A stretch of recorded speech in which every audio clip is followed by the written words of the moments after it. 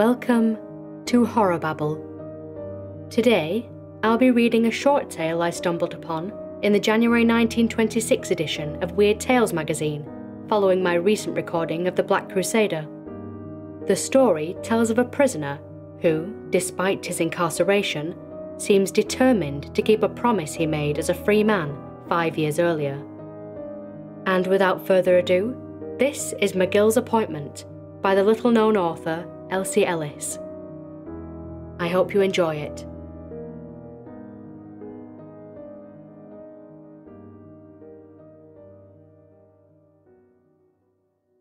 McGill's Appointment by Elsie Ellis.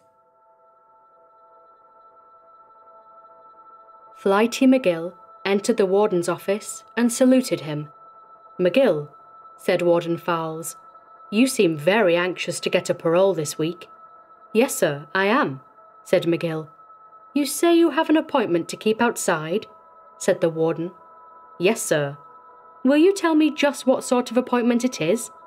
It's pretty personal, sir. Hmm. You wanted to get out so you could get to the city tonight, didn't you? Yes, sir, I did. Hmm. Well, I have an idea what you wanted to do when you got out, said the warden. There was a touch of malignity in his voice. He reached for the telephone. You're not going to get parole today or for 20 years, McGill, he said. You can make up your mind to that. I had about done so, sir, said McGill.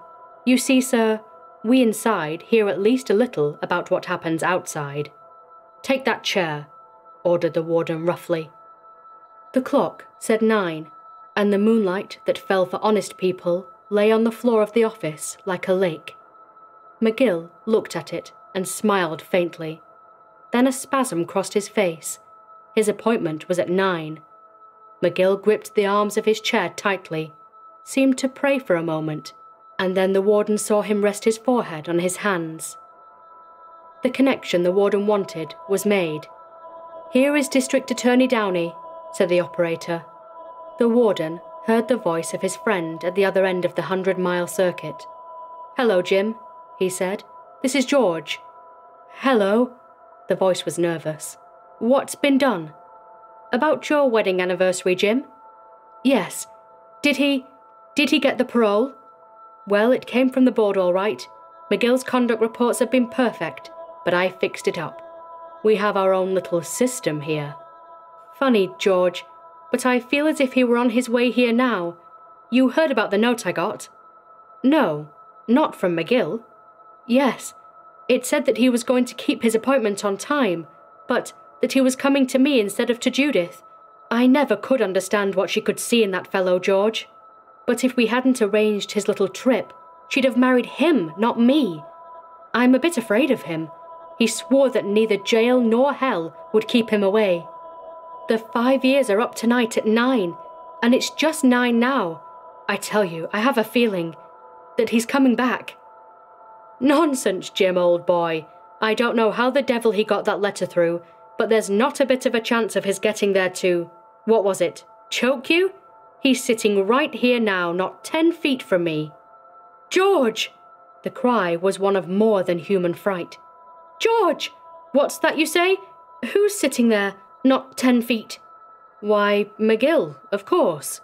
George! M- McGill! There was a gasping sound. McGill's sitting right here, Jim, as quiet as a lamb. We've been working him pretty hard. Looks as if he'd gone to sleep. Hello? Hello? Hello there, Jim? Hello, Jim? Operator? Hello? Hello? Hello?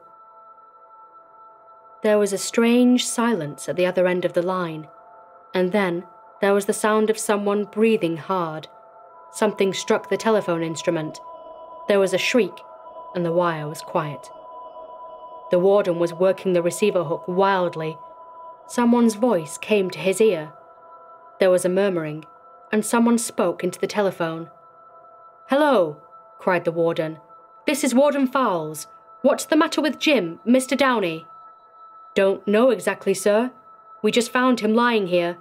He seems to have been choked to death, sir. We can't find anyone. Fowles sprang across the room. McGill's lifeless hand held a vial from the prison hospital, labelled laudanum.